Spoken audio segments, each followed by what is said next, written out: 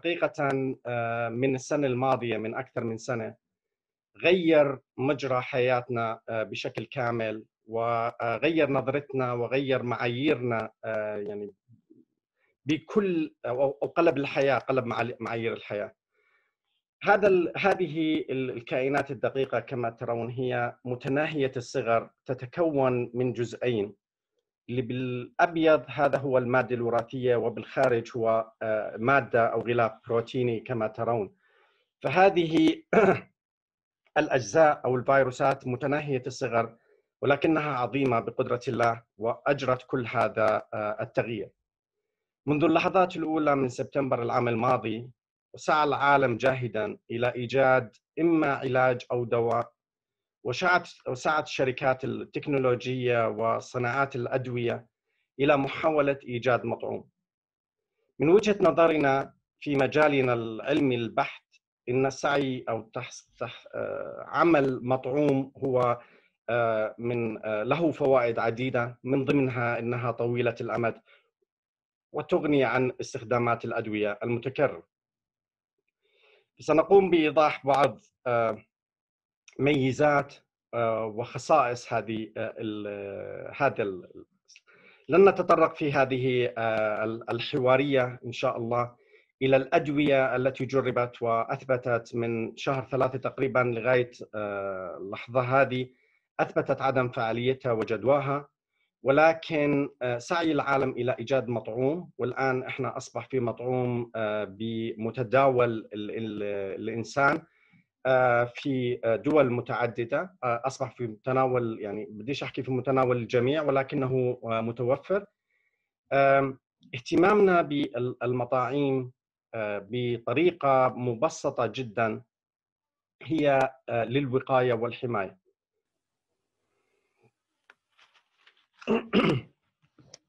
أوكي.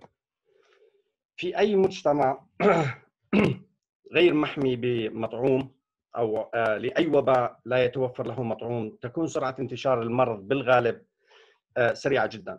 وهذا ما شهدناه على آه، مدى العام المنصرم حيث نرى أن الوباء ينتشر بسرعة عالية جدا. ونتيجة هذا هذا الانتشار يتحكم به مجموعة من العوامل من ضمنها عوامل بيولوجية بطبيعة هذا الفيروس.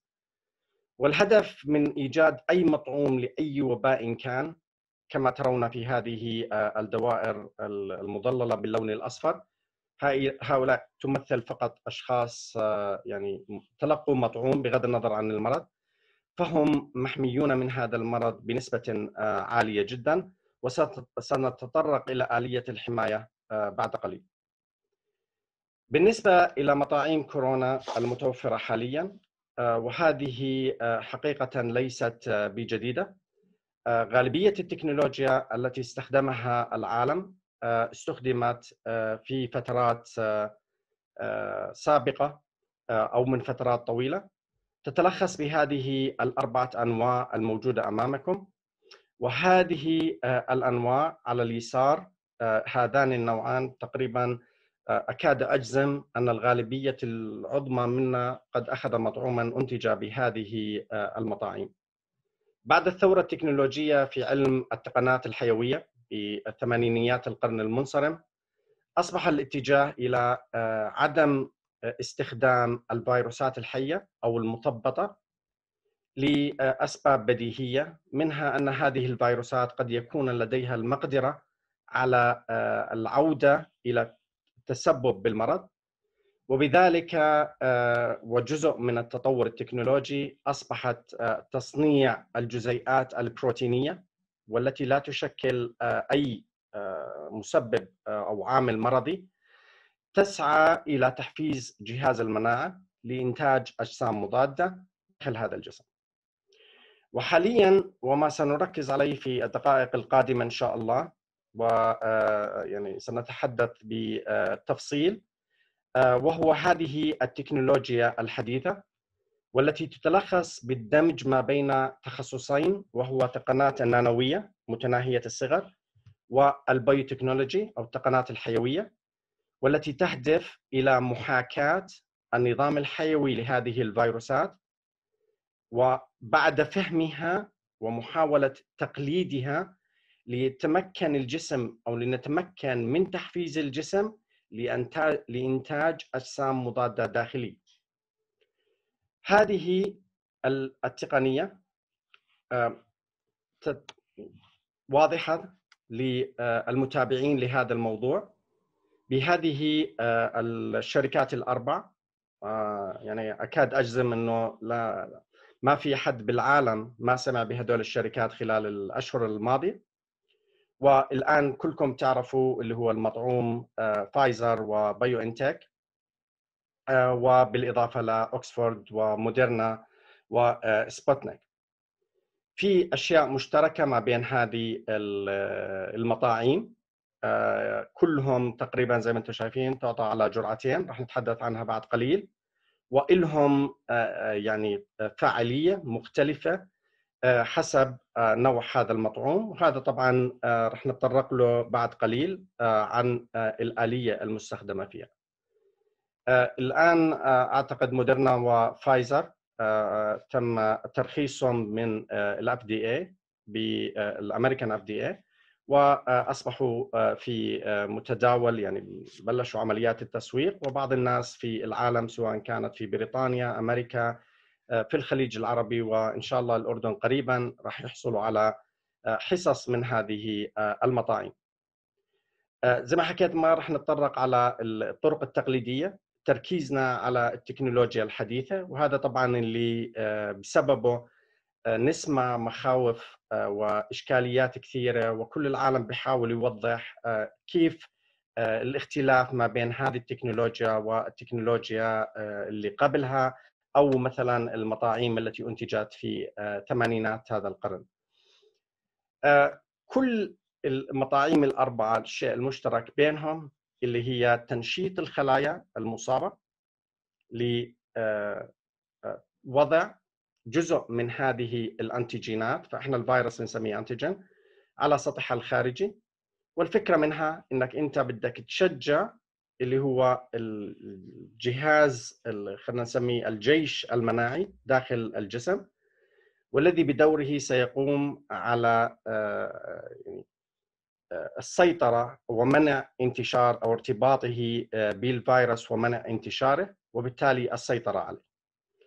آلية بسيطة جدا أنك تعطي هذه هذا المطعوم للشخص المستقبل وحيث ترتبط آه، هذه الأجسام المضادة أو تحفز خلايا جهاز المناعة على إنتاج هذه الأجسام المضادة والتي بدورها تستهدف الخلايا المصابة أو الفيروس و آه،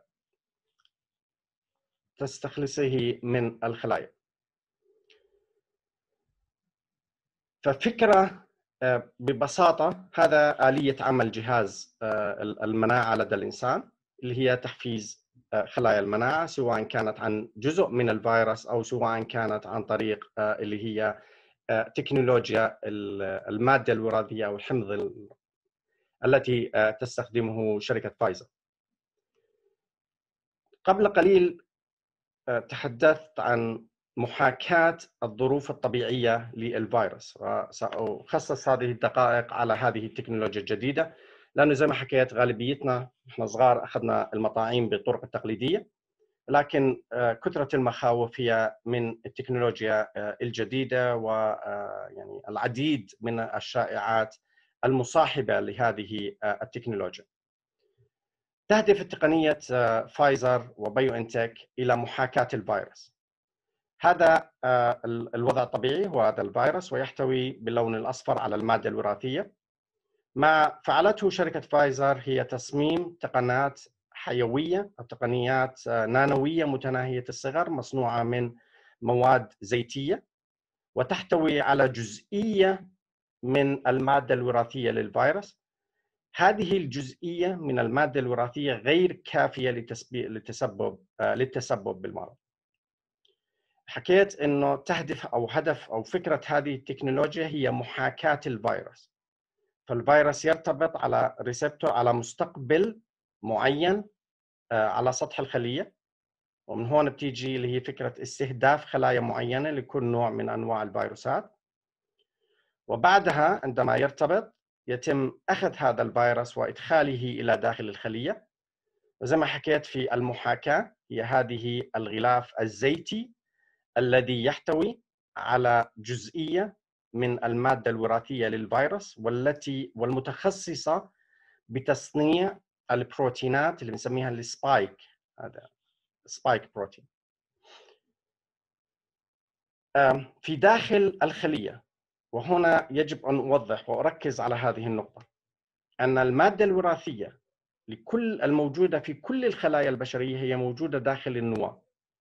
والتصنيع البروتيني يتم في السيتوبلازم خارج النواة فالنقطة الأولى من أمان هذا المطعوم أن المادتين الوراثيتين لا يختلطان ال messenger RNA ال mRNA يحتوي على آه، شيفرة لصناعة بروتينات معينة حيث تقوم هذه الرايبوسومات بإنتاج البروتينات من آه، الجزئية الوراثية من الفيروس.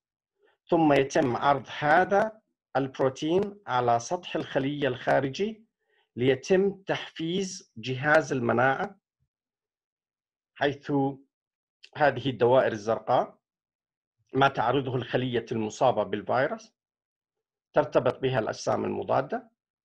ثم خلايا المناعة تميز هذا الارتباط وتفرز مجموعة من الإنزيمات الهاضمة أو التي تعمل على تحطيم هذه الخلية واستهداف الفيروس وتحطم. وبالتالي جزئية هي هذه الجزئية من المادة الوراثية لإنتاج فقط السبايك بروتين من الفيروس وعرضه على سطح هذه الخلية ثم استهدافه من قبل خلايا المناعة.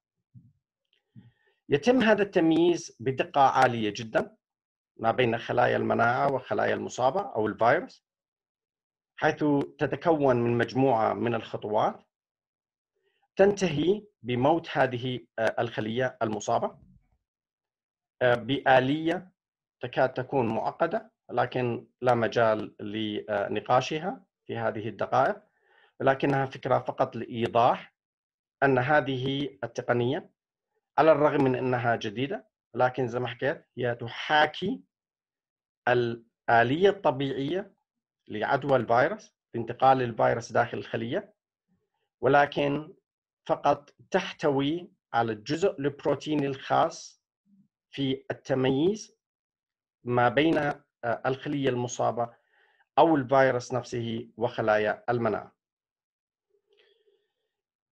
في الأيام القليلة الماضية سمعنا الكثير عن التحورات أو الطفرات التي تجرى على المادة أو التي تحدث للمادة الوراثية في آه، فيروس الكورونا أو الكوفيد 19 آه، هنا يجب أن أؤكد أن هذه التحورات الجينية هي ليست بالجديدة.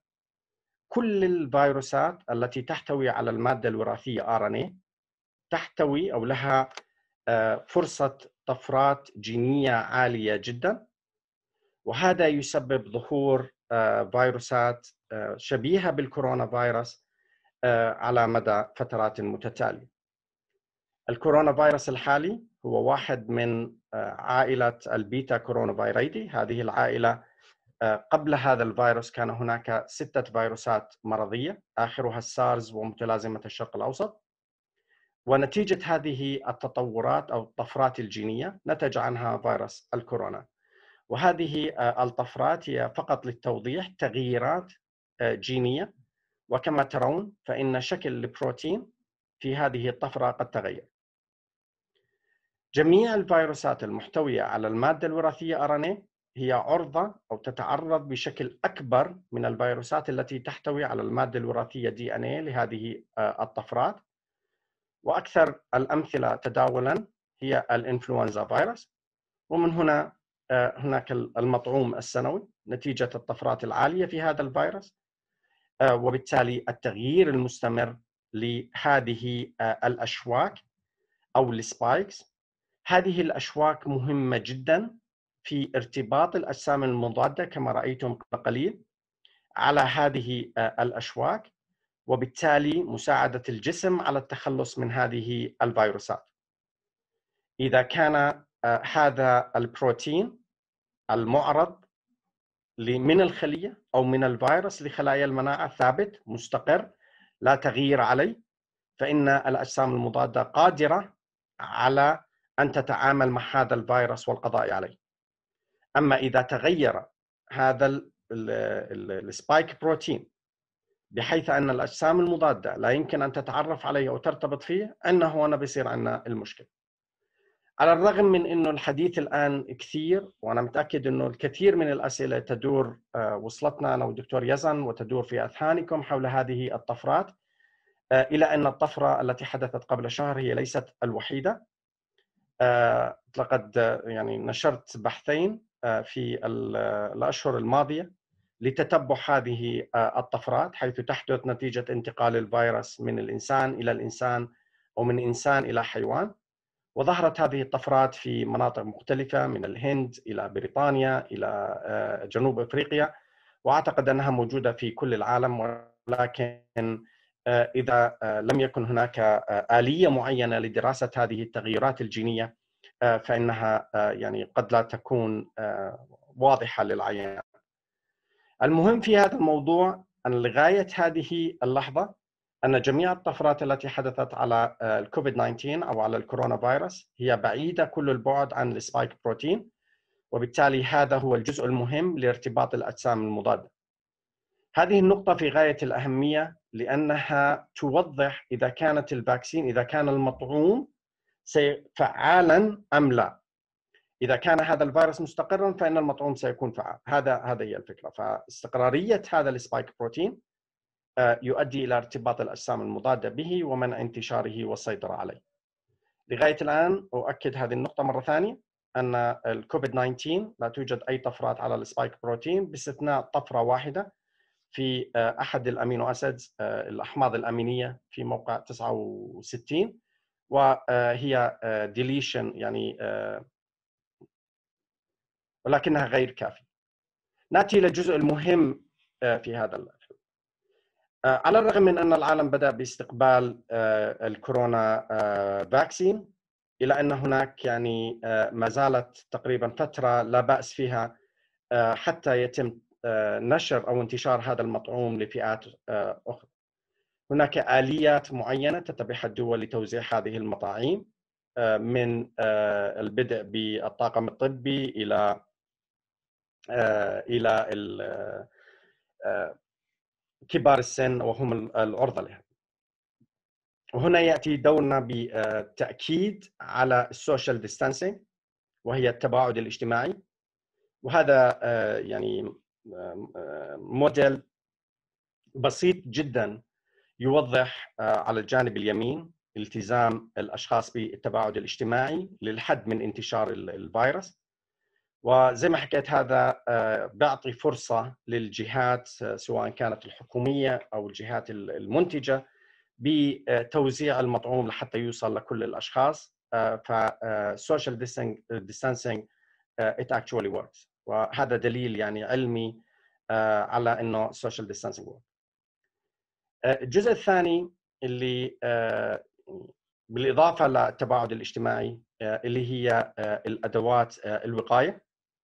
والكمامه حتى لو كانت هذه الزرقاء بال10 قروش أو ال15 قرش بغض النظر عن سعرها آه، حقيقة هي فعالة في منع انتشار الفيروس أو الحد من انتشار الفيروس وانتقاله. آه، وميزة آه، أن هذه الكمامة آلية عملها يعني مش راح نعطيكم محاضرة عنها ولكن الفيروس هو اولا يعني زيتي والثاني الحجم تبعه هو كبير شوي وبالتالي آه، الالتزام بارتداء الكمامة يمنع ظهور الفيروس أو يمنع انتقال العدوى. هذا طبعا آه، لحتى آه، توصل المطاعيم للجميع لأنه في حالة الوباء لا آلية ولا طريقة للحد من انتشار المرض إلا بتوفر المطاعيم وهذا قد يأخذ إلى يعني مدة تقريبا عام و كمان في نقطة يعني لازم أنوه فيها بالأخير تقريبا أنا أنهيت الجزء المخصص إلي وهي أن هذه الاختلافات ما بين هذه المطاعيم من ناحية إعطائها للأعمار وأمانها وسلامتها تقريبا أثبتت في كل المراحل التي خضعت لها هذه المطاعيم وتمر بمراحل يعني مضنية و يعني time consuming يعني تستهلك أو تأخذ الوقت الكثير لإثبات فعاليتها ولإثبات أمانها. كما رأيتم في بداية الجدول اللي هي فاعليه هذه المطاعيم تتفاوت كما تتفاوت التكنولوجيا في إنتاجها و لكن يعني جميعها تعمل ولم تثبت لغاية الآن في المختبرات أي يعني مشاكل حقيقية خلينا نحكي عن مضاعفات لهذه المطاعم.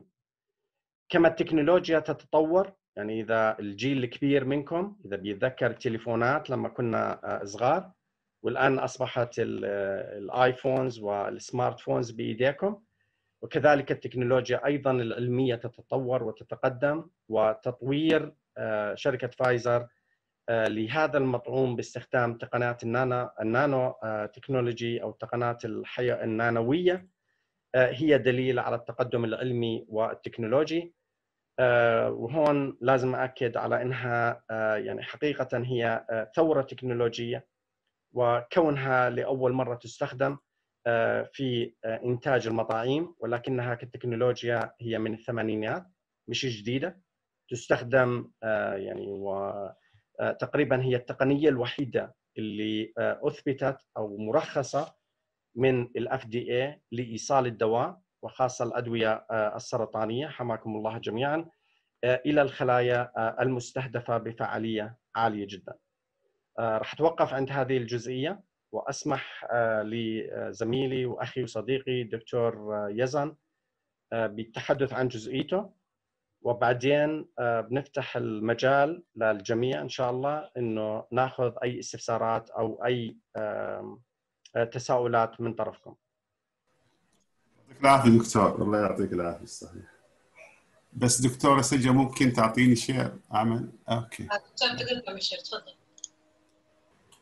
مساء الخير مرة ثانية. يعطيكم العافية. طبعا يجوز أصعب محاضرة. من زمان ما كتبتش محاضرة زي هيك. آه والهدف كان إنه الصعوبة فيها أنا بالعربي. فاللي اللي صح يصير هسه إنه أنا راح أوضح الأشياء اللي الدكتور علاء آه، ما تطرق لها راح أحاول أتطرق لها بشكل بسيط إن شاء الله. فهي تكملة عن الموضوع.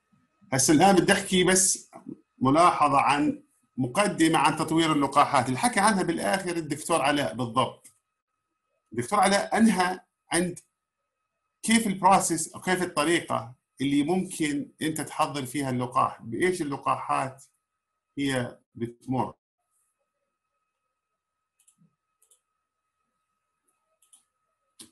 هسه الآن مراحل تطوير اللقاحات الطبيعية بتمر أقلها بأربعة أقل شيء. أول شغلة بتبدأ بما سمي بقبل السريرية واللي بيجربوها على الخلايا وبعدين على الحيوانات زي الفئران والقرود وهكذا. وبهاي المرحلة بيشوفوا إنه هل الفكرة صح أم خاطئة؟ المرحلة الثانية اللي بعديها تيجي المرحلة الأولى السريرية. وهون تبدأ تتجرب على الإنسان وبكون عدد الأشخاص قليل مش بالمئات أقل من 100 والهدف منها الآن إنه هل الفكرة اللي على الفئران زبطت ممكن تزبط على الإنسان. وواحدة من هدفها أهدافها هي السلام العامي إنه هل هذا اللقاح آمن أو لا؟ بعد ما يجتاز المرحلة الأولى بروح على المرحلة الثانية الأوسع اللي فيها مئات مئات الأشخاص. وهذولا بتقسموا لجروبات مجموعات. بيكون في أطفال وبيكون في كبار بالعمر مثلا. وهون بتأكدوا مرة ثانية إنه هل اللقاح راح يشتغل على الكل بنفس الكفاءة ولا في أشخاص راح يشتغل عليهم وأشخاص لا؟ كمان في هاي المرحلة يتأكدوا من سلامة اللقاح مرة ثانية. يعني في كل مرحلة في تأكيد على السلامة. المرحلة الثالثة وهي الأخيرة واللي بسموها المرحلة النهائية. هون بيكون في آلاف الأشخاص مش واحد أو اثنين مش مئات آلاف. وهنا بيحاولوا يشوفوا فعالية اللقاح مباشرة في المجتمع. يعني مثلا زي مرضى كورونا بعطوا له أشخاص بروحوا بيشوفوا هل أصيبوا بكورونا أم لم يصابوا بكورونا. وبهاي المرحلة بعطوا بقسموا الناس إلى مجموعتين. مجموعة تسمى مجموعة وهمية أو علاج وهمي ومجموعة تعطى لقاح عادي. بمعنى مش كل المشاركين في هاي التجارب راح ياخذوا اللقاح. وهاي المرحلة فعليا اللي الأدوية بيكتشف فيها الآثار الجانبية للقاح. إيش هي؟ كمان بنقاس فيها شيء اسمه مدى الفاعلية. هسا هل اللقاحات تاعت كورونا مرت بهاي التجارب كلها ولا لا؟ هذا السؤال الأقوى. الجواب نعم. مرت بكل المراحل. بالبداية كانت 44 لقاح مرت بالمرحلة الأولى. انتقلت للثاني 21 انتقلت للثالث 18 أخذت موافقة محدودة 8 وأخذت الموافقة الكاملة هم ثلاثة فقط. بمعنى أنه اللقاح ما نطش من مرحلة إلى مرحلة. اللقاح مر في كل المراحل. اللي مر فيها أي دواء من قبل. ما أخذ استثناء في هاي ال clinical trials أو بالتجارب السريرية. طبعا في واحد منهم توقف ما ما ما حكينا عنه. الآن وين مشكلة لقاح كورونا؟ ليش كورونا صعبة يعني؟ ليش اللي قبليها مش سهل؟ طيب أنا كل سنة في لقاح لإنفلونزا بنزل. بصراحة لأنه إذا تطلع أنت على المبدأ أنا بالعادة هون بست... قاعد بستهدف كبار العمر واللي معهم أمراض مزمنة. باللقاحات الثانية بالعادة تعطى للصغار تعطى للأطفال زي لقاح مثلا اللكاف زي لقاح الحمى الحصبة. هذول كلهم للأصغار للأشخاص الصغيرين العمر اللي أساسا مناعته قوية وأنا بدي أحاول أخليه أقوى. بالمقابل مطعوم كورونا أنا بستهدف لا الأشخاص اللي أعمارهم كبيرة واللي معهم أمراض مزمنة. ليش؟ لأنهم هذول هم الأشخاص اللي الكورونا بيأثر فيهم أكثر شيء. بالإضافة إنه فيروس كورونا جديد. بمعنى أنا ما عندي خلفية عنه. مش زي فيروس الإنفلونزا. الإنفلونزا بقدر أصنع له كل سنة أنا مطعوم بس لأنه أنا بعرف عنه كل شيء. أما زي فيروس كورونا صح هو ريليتد للسارس لكن جديد. فبالتالي صعب إني أعرف كل شيء عنه. فأخذ فترة وكان صعب إني أصنع له مطعوم. السبب الثالث هو إنه حركة الناس سهلة بين الدول. وبالتالي صار له انتشار رهيب. وأسرع من أي مرض على الأقل بالعصر الحالي انتقل بالسهولة هي. هسه في معلومات أنا بدي أطلعكم عليها. بجوز أنتم ما شفتوها أو ما مرت عليكم. اللي هي عن لقاح فايزر اللي هو أكثر شيء عليه مشاكل أو أنتم بتحسوا عليه مشكلة. مثلا عدد المشاركين بالتجارب العمياء. شو يعني عمياء؟ حكيت لكم إنه بالتجربة السريريه الثالثة بفصلوا المشاركين لمجموعتين. مجموعة بأخذوا مي وملح بسميها البلاسيبو ومجموعة بأخذوا اللقاح. هسه ما حدا منهم بيعرف من المشاركين أي نوع هو أخذ. فهي عمياء ما حدا بيعرفها إلا مين؟ اللي عملوا التجربة. اللي شاركوا مطعوم فايزر وال BioNTech لل clinical trial الثالثة. هم 43 ألف واحد. بينما ال FDA الأمريكية أو وكالة الغذاء والدواء الأمريكية تطلب أساسا بالمرحلة هي ما بين 300 ل 3000 واحد فقط. بمعنى عدد المشاركين بهاي التجربة 15 مرة أكثر من الطبيعي. أعمار اللي شاركوا كان 12 سنة فأكثر. متوسط عمر المشاركين كان 52 سنة. لكن كان تقريبا 98% من المشاركين أكثر من 16 سنة مشان هيك حسب ال recommendation إنه ما بصير يأخذ مطعوم فايزر إلا اللي فوق ال 16 سنة.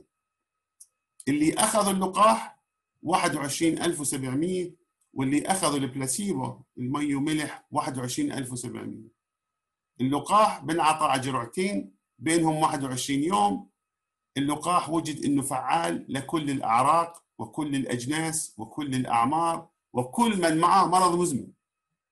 يعني بغض النظر هو شو شو حالته الشخص لقوا إنه هو بيزيد المناعة وبحصن ضد الكورونا فيروس الاستثناءات من هي الدراسة السريرية لفايزر استثنوا الحوامل والمرضعات والأطفال من أقل من 12 سنة والأشخاص اللي معاهم نقص بالمناعة.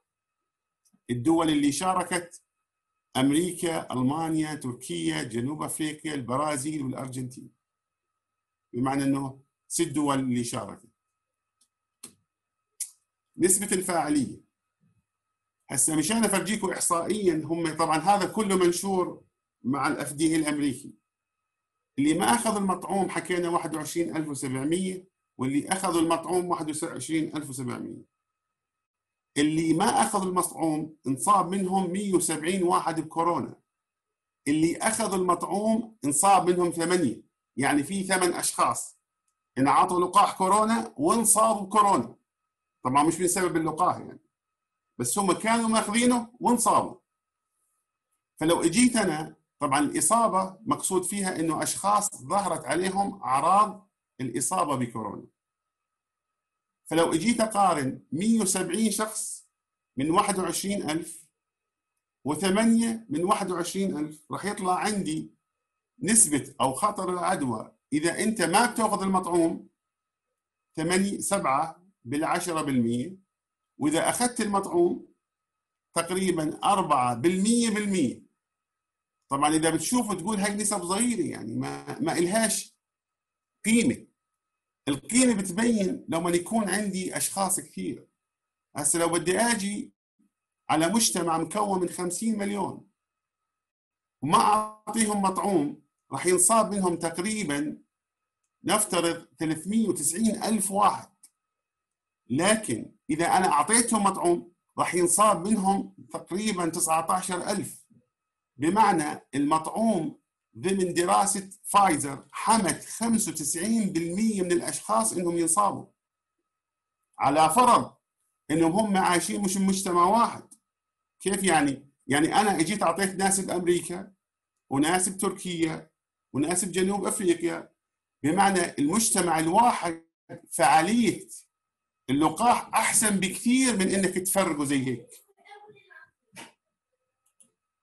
فهسه عندكم سؤال وأنا متأكد. ال 95% هي بتأرق الكل. يا عمي كيف 95% هاي مشكلة يعني. كيف ما يحميش الكل؟ مطعوم معقول في مطعوم بالعالم؟ ما بحكي ما بيحميش الكل بيحمي بس. 95% يعني ال 5% يموتوا يعني؟ ما حدا قال ال 5% يموتوا.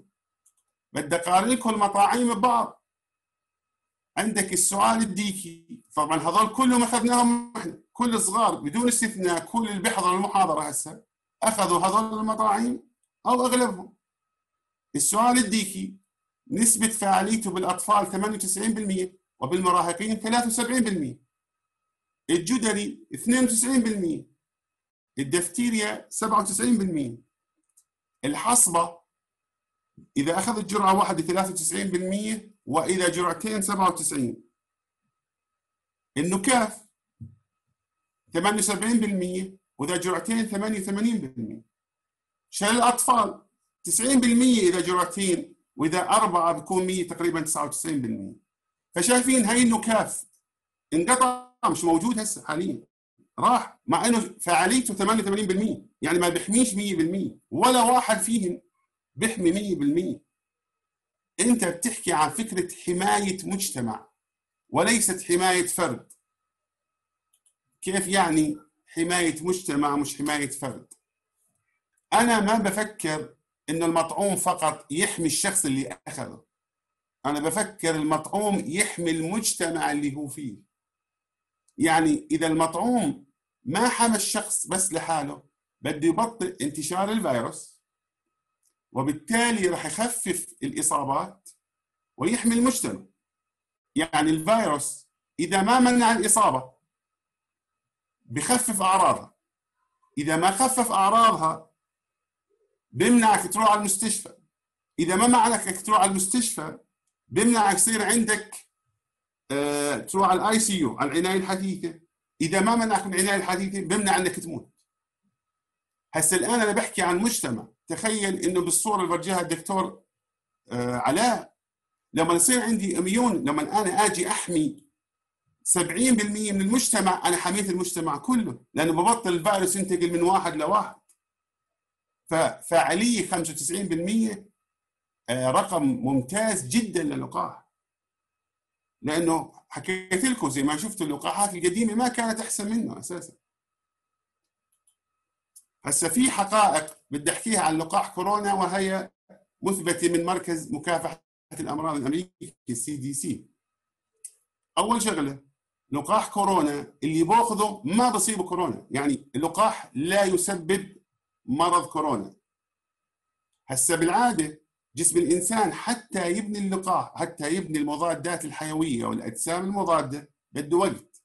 يعني بدك 50% تقريبا من الأجسام المضادة تتكون أول أسبوعين من الجرعة الأولى وحتى يوصل 100% بعد الجرعة الثانية بأسبوع. هسه خلال هاي الفترة ما بين الجرعة الأولى والجرعة الثانية ممكن الشخص يصيبه كورونا إذا راح وتعرض للإصابة لأنه ما صار لسه ما صار عنده مناعة تامه يعني المناعة التامة فعليا بتصير بعد أسبوع من الجرعة الثانية.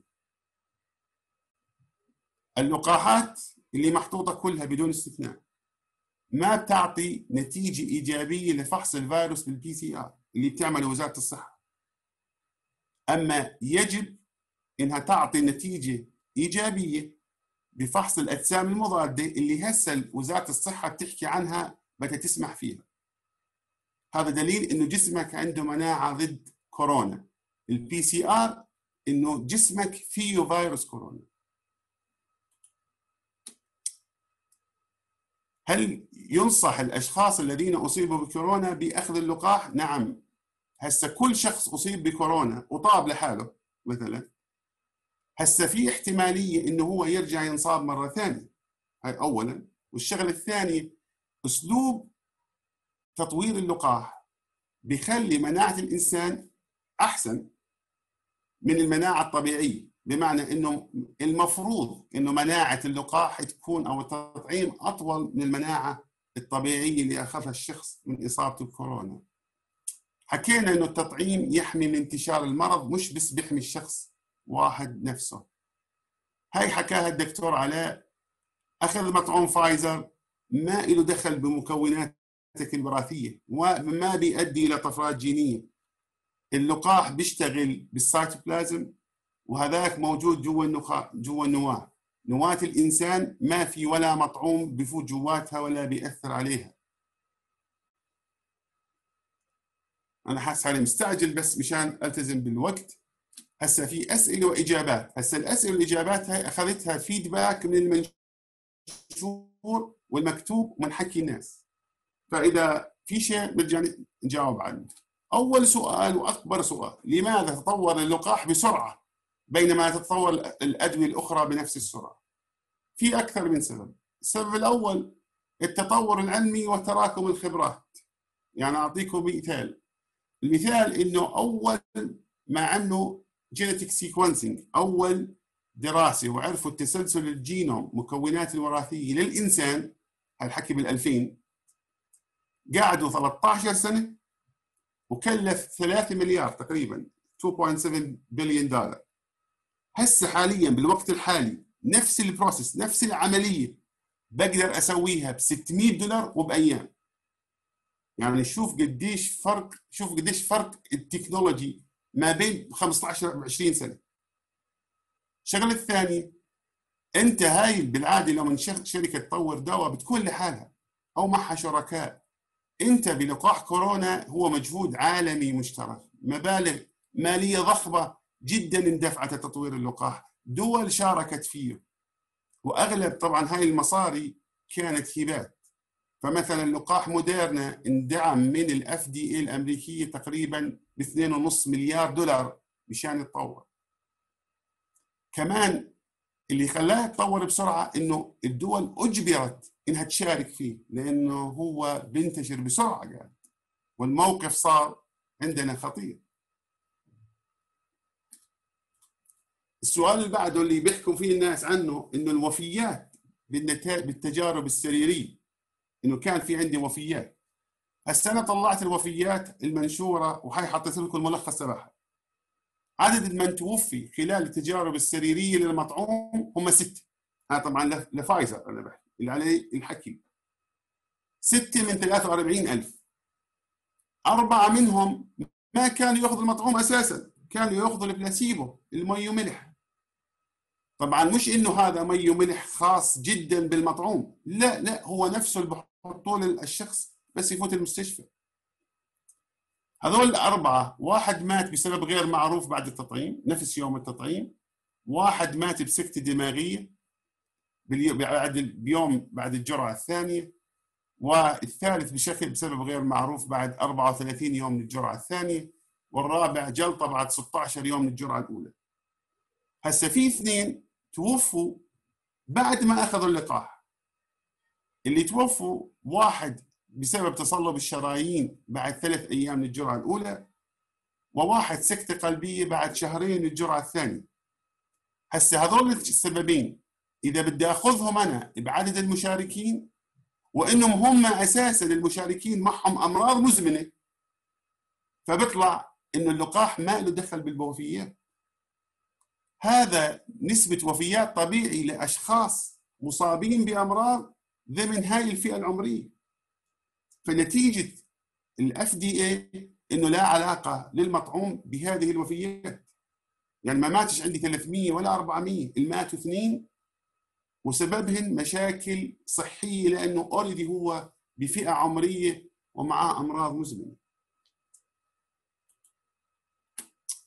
هسه في شيء بيحكوا كمان عن الخوف من نتائج المطعوم على المدى البعيد. باستثناء مطعوم فايزر. حطه على جنب. كل ال technology التقنية طبعا فايزر وموديرنا التقنية اللي بيستخدموها اللقاحات الثانية مجربة من 60 سنة لحد الآن وبنجاح. وين المشكلة يعني؟ كل اللقاحات زي ما صنع لقاح شلل الأطفال انصنع. بالنسبة لمطعوم فايزر وموديرنا أو فايزر بالذات التقنية هي اللي مستخدمة مش إنها هسه صنعوها. زي ما حكى الدكتور علاء هي مستخدمة من أول أساسا. هم بيستخدموها في فيروسات الإنفلونزا الفيروس زيكا فيروس وبداء الكلب وال cytomegalovirus تاع ال hepatitis تبع الالتهاب الكبد الوبائي. بمعنى إنه هاي التقنية مش إنها جديدة جدا هي جديدة مقارنة ب 60 سنة لكن هي مستخدمة بأمراض. هسه الخوف من الآثار الجانبية. هسه الآثار الجانبية اللي اللي منشور عنها ومحكي عنها بالتفاصيل إنه ألم مكان حقن التعب الصداع آلام العضلات القشعريره آلام المفاصل والحمى. هسه لا تقيس لي مدى خطورة هاي الأعراض بأعراض كورونا. لا تقول لي هاي أعراض كورونا. لا يعني الحمى إنه إذا ارتفعت حرارتك 37 ونص زي ما تصيبك حمى كورونا ويصيبك 38 ونص و39 ولا تقارن لي الم العضلات والم المفاصل اللي بصيبك. يوم مثلا من اللقاح مثل ما تأخذ أنت والله كورونا فيروس يقعدك أسبوعين. ما تعرف إيش تقعد مثلا. لا هي لازم تذكر. يعني إذا أنت بتفتح أي leaflet أقول لك أكثر شخص دواء يستخدم هو الريفانين افتح ال leaflet تبعته. الرش اللي موجوده الورقة الموجودة جوا الدواء. واقرا الآثار الجانبية تبعته بتخاف وأنت منطقيا بجوز كل يوم تاخذ هسه اللي خلاف اللي عليه خلاف. يعني العرض اللي عليه خلاف واللي الأشخاص بيحكوا عنه هو التهاب العصب السابع. التهاب العصب السابع بمعنى إنه الشخص يصيبه زي نص وجهه بتشنج. هذا بالنتائج السريرية فعليا سجلت أربع حالات. من ال 43 ألف واحد. هسه النتيجة شو كانت؟ النتيجة كانت إنه هاي معدل الحالات ضمن الإصابات الطبيعية. يعني صدفة. ما لقوا الأف دي الأمريكي ما لقى علاقة ولا دليل واضح ما بين اللقاح وهذا الأثر التهاب العصب السابع. ما لقوا. التقييد الوحيد اللي انحط على مطعوم فايزر إنه هو من الأفضل خاصة بريطانيا طبعا اللي حطت هذا التشديد إنه له أي شخص له تاريخ من الحساسية المفرطة. لاكل أو دواء لازم مش ما يأخذش الدواء لازم يأخذه بحذر المطعوم يعني إنه يكون يحكي للدكاترة والممرضين إنه أنا معاي حساسية مشان يتأكدوا إنه هو ما بتحسس من المطعوم. كمان خاصة إذا مكونات المطعوم ما بتحسس منها مين؟ المريض. يعني مش إنه هو ممنوع يأخذه. لا هو بيقدر يأخذه بس بحذر. طبعا الحساسية المفرطة مش يعني زي شخص مثلا تحسس لأنه طلع شم صابه جيوب والله من ريحة من ريحة ولا تحسس من دواء. حط إيده. أنا بحكي عن حساسية مفرطة anaphylactic shock يعني شخص زي مثلا اللي الشخص اللي بس تلسعه النحله بموت هذا بسميه anaphylactic shock هذول الناس اللي عندهم حساسية مفرطة في منهم حساسيتهم للأكل مثلا. مفرطة جدا يعني إذا بأخذ فستق في ناس بيناتس بموت. هذا اللي بنحكي عنه. تاثيره على الانجاب وهذا سؤال يعني طرح وكثروا عليه. هسه فعلا في تجربة سريرية. أنا مشان هيك أعتقد السؤال انطرح في تجارب سريرية حاليا تم بدأت ب 11 12 2020 على تأثير الكورونا vaccine على الخصوبة. على خصوبة الذكور وليس الاناث اولا هسه اللي عامل الدراسة الشخص اللي عاملها بقول إنه لا يوجد سبب لا يوجد سبب منطقي إنه ال vaccine يأثر. لكن بدنا نعملها. الشيء الغريب؟ اللي أنا بدي أقول لكم إياه ما بعرف اذا بتعرفوه ولا لا.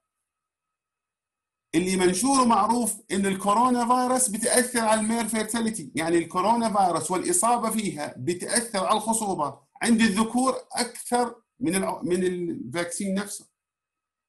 يعني المثبت إن الكورونا اللي يصاب فيها ممكن يتأثر على خصوبه الذكر الرجل أكثر من إنه ال vaccine بيأثر لأنه ما سبق ولا بين إنه ال vaccine بيأثر شغلة ثانية هل المطاعيم القديمة كاملة زي شل الأطفال والحصبة هل كانت تأثر على الخصوبة؟ هل حدا عمره واحد جا سأل قبل هيك؟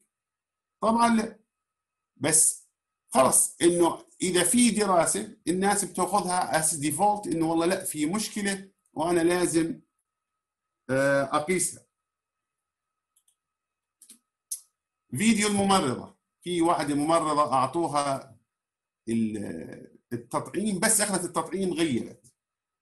طبعا أول شيء غيبت ما ماتت هاي اولا. شغله ثانية يعني لو إنه شو ما كان مستحيل انت مجرد ما غزيت واحد يموت. يعني ما فيش connection ما بيلحقش يمشي بالدم ولا سيال عصبي يلا يوصل ما بين مكان الإصابة والدماغ.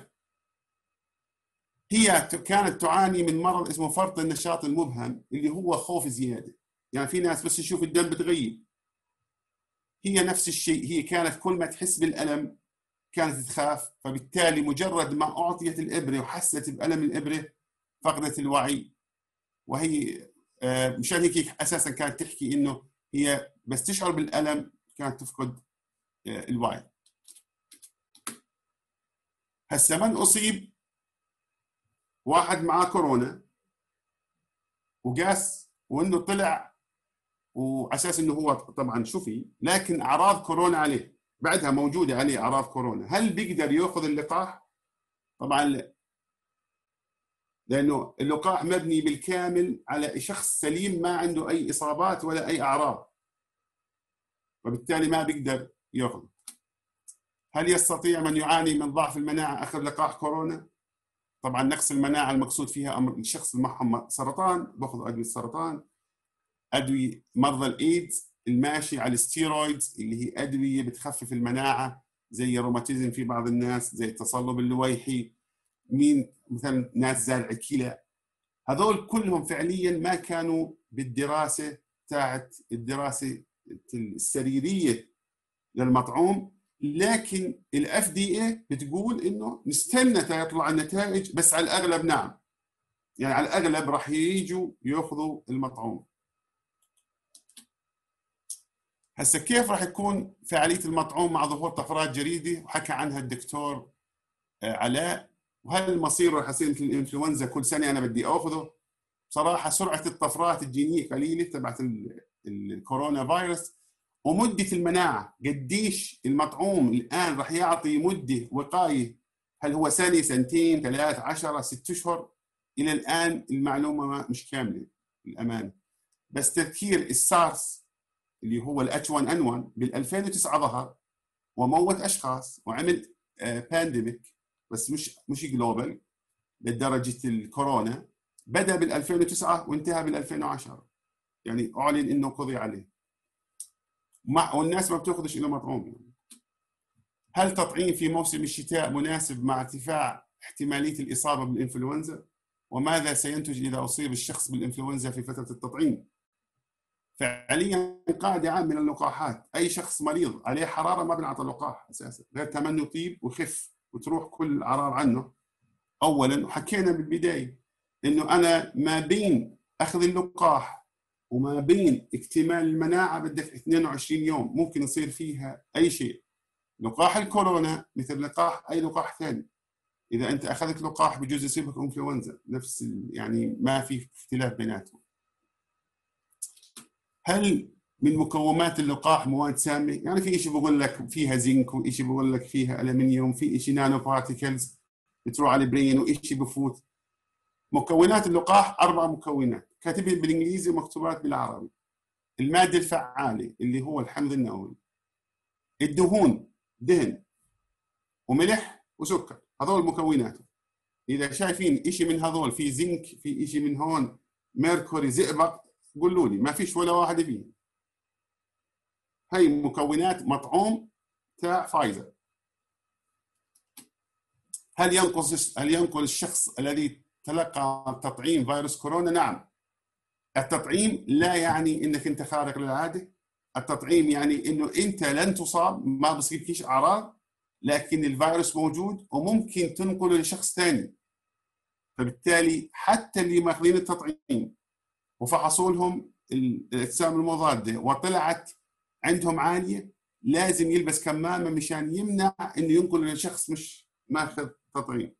فالتباعد الاجتماعي غسل اليدين وارتداء الأقنعة هي شرط أساسي.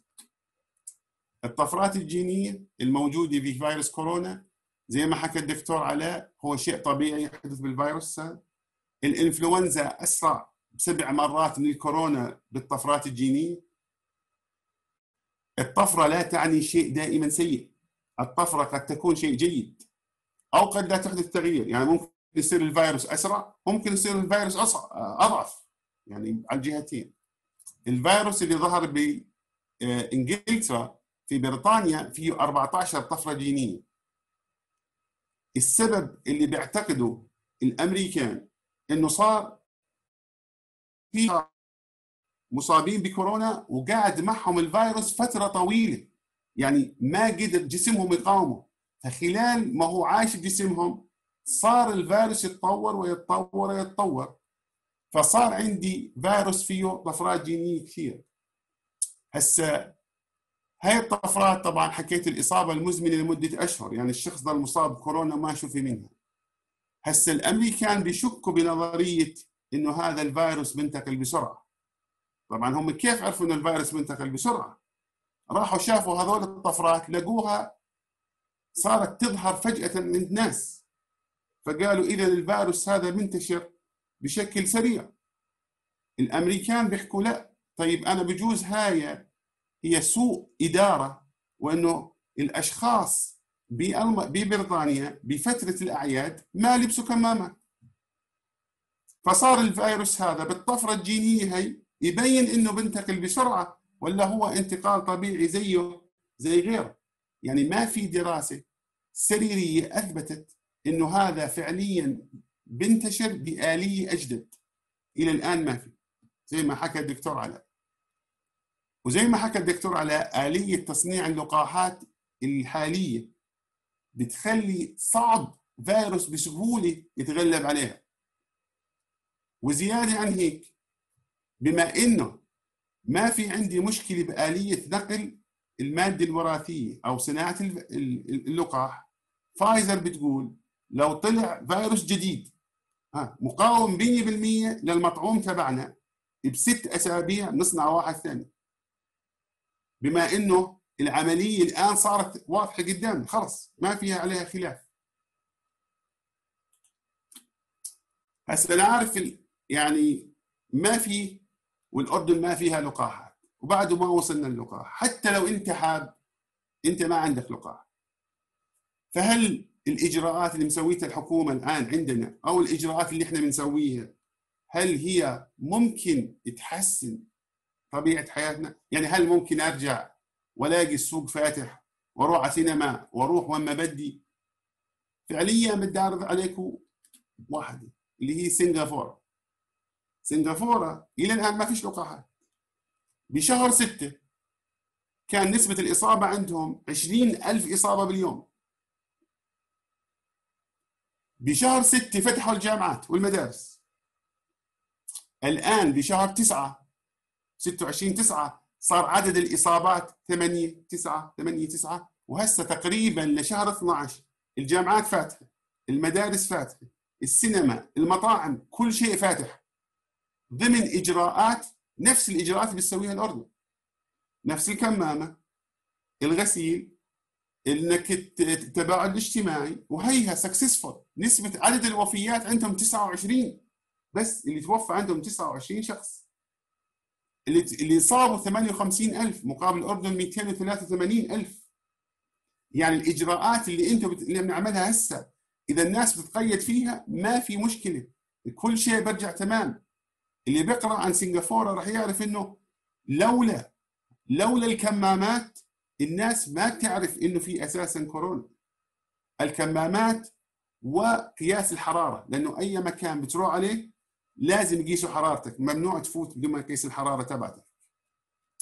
وآخر شيء وآسف إني طولت اللي هي الإنفلونزا الإسبانية.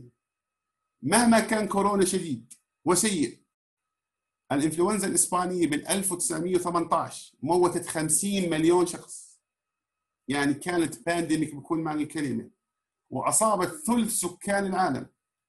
إلا إنها خلصت بسنتين. سنتين رجعت الطبيعة زي ما كانت. ليش؟ لأنه أنا صار عندي مناعة. ما كان بوقتها في مطاعيم. بمعنى إذا أنا بطعن ال population أكثر من 70% أنا برجع الحياة زي ما كانت. كورونا مش اسوء من الإنفلونزا الإسبانية. ويعطيكم العافية. شكرا جزيلا لك دكتور يزن يعطيك العافية. دكتور علاء يعطيك ألف عافية. ودكتور يزن آه، بصراحة محاضره قيمة جدا. ساعتين مروا أنا ما حسيتهم عشر دقائق يعني لا يمل لو ضل معكم يوم كامل. بتمنى الكل يكون استفاد دحضتوا الكثير من الشائعات وضحتوا بعض الحقائق وإن شاء الله يا ربي يحمي الأردن والعالم كله من كورونا وأي فيروسات أو أي أخطار جديدة الحمد لله بالعلم والعلماء رح نحارب آه، أكبر أو أخطر شيء ممكن نواجهه واستمتعنا فيكم ويعطيكم ألف عافية وشكرا للجميع. أتمنى السلامه للجميع شكرا للجميع. شكرا لك دكتور يعطيك ألف عافية يا رب انت والدكتور يزن. نشكر كمان الدكتور عمر اللي ساعدنا بال distribution شكرا جزيلا يعني داعم أساسي لنا دائما في كل نشاطاتنا. شكرا جزيلا. عفوا هلا. مع السلامة bye.